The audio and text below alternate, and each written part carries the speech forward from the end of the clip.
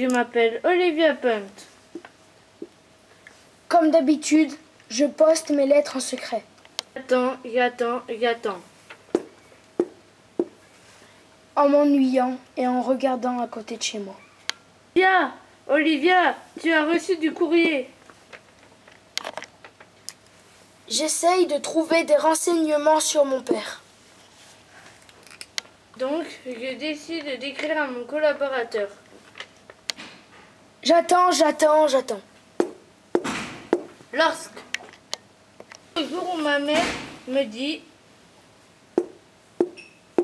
Chérie, tu as reçu du courrier cours dans ma chambre pour l'ouvrir et je